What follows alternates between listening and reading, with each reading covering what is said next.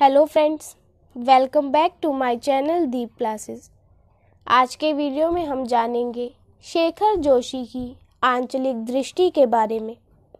हमारा आज का वीडियो स्टार्ट करने से पहले, अगर आप हमारे चैनल पर नए हैं या आपने अभी तक हमारे चैनल को सब्सक्राइब नहीं किया है तो इसे सब्सक्राइब कर लें। जिससे हमारे सभी वीडियो के नोटिफिकेशंस आप तक पहुँच सके। साथ ही एमएचडी से रिलेटेड सभी वीडियोस के लिए। आप हमारे चैनल की प्लेलिस्ट में जाकर उन्हें देख सकते हैं।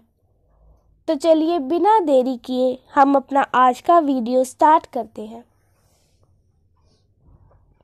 शेखर जोशी को पहाड़ी जीवन से अत्यंत लगाव है, जिसका प्रमाण उनकी आरंभिक चार कहानियाँ।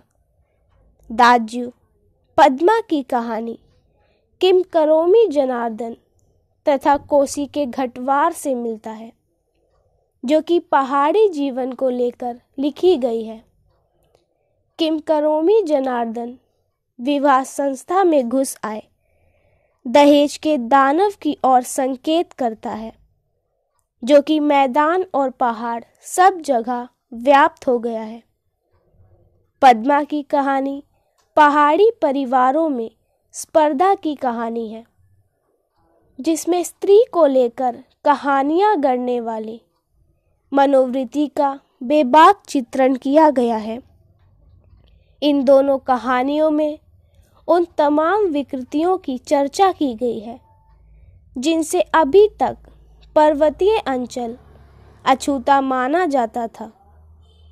लेकिन कोसी का घटवार तथा दाजू जैसी महत्वपूर्ण कहानियों में पर्वतीय अंचल की विशेषताओं को शेखर जोशी ने संपूर्णता से उभारते हुए अपनी आंचलिक दृष्टि को स्पष्ट रूप से उजागर किया है। दाजू कहानी में आंचलिक मोहकता को समेटे हुए शेखर जोशी आंचलिक अस्मिता में उपस्थित। दारुणता को महानगरीय श्रम सृष्टि के रूप में विकसित करते हैं। बड़े साइन बोर्ड वाले कैफ़े में काम करने वाले नौ वर्षीय लड़के को दाजू संबोधन, उसकी आंचलिक अस्मिता को याद दिलाने लगते हैं, जिसको वह अलगाव तथा निर्वासन की पीढ़ा के रूप में, अस्मिता के खाने के रूप से जोड़कर देखता है, क्योंकि भाषा आंचलिक अस्मिता की सशक्त वाहिका होती है। अतः कहानी में दाज्यू मात्र के प्रयोग से पूरा अंचल उभर कर सामने आ जाता है। दाजू अर्थात बड़ा भाई, यह शब्द अपने संबंध यानी अपनेपन का बोध कराता है। मदन के लिए जगदीश बाबू दाजू हो गए। किंतु यह आंचलिक अस्मिता जगदीश बाबू के लिए दुरह हो गई और वह उससे स्वयं को लज्जित अनुभव करने लगे। इसीलिए वह नगरीय बंधुपन की टकराहट में शाप बन गए और मदन नाम विहीन होकर बॉय बन गया। इस पूरी प्रक्रिया में आंचलिक अस्मिता पर शर्मिंदा होने वाले जगदीश बाबू ही आखिरकार अस्मिता क्षेत्र से निष्कासित होते हैं, क्योंकि नौ वर्षीय पहाड़ी लड़का जगदीश बाबू को आंचलिक संस्कृति से उनके वंचित होने की बात का अनुभव करा देता है। कोसी का घटवार कहानी में आंचलिक संदर्भों को प्रेम कथा के माध्यम से अभिव्यक्ति प्रदान की गई है।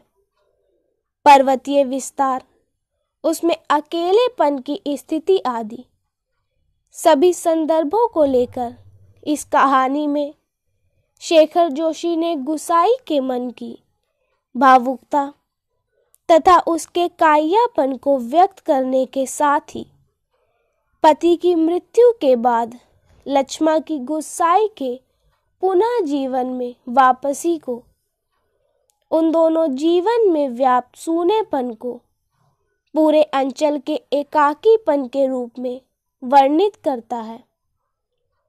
इस कहानी को पढ़ते समय पहाड़ का संपूर्ण जीवन सजीव हो उठता है। वास्तव में प्रतीकों और बिंबों के माध्यम से शेखर जोशी सब कुछ पूरी खामोशी से वर्णन करने की कला के साथ रचना वस्तु का संयत उपयोग करते हुए कहानी को अत्यंत महत्वपूर्ण बना देते हैं। बिना किसी प्रवाह के भी शेखर जोशी की कहानी मंथर गति से आगे बढ़ते हुए पाठकों को तृप्ति और संतोष प्रदान करती है। इसी के साथ आज का हमारा वीडियो यहीं खत्म होता है। वीडियो पसंद आया हो तो वीडियो को लाइक एंड शेयर करें और चैनल को सब्सक्राइब करना ना भूलें। Thank you for watching.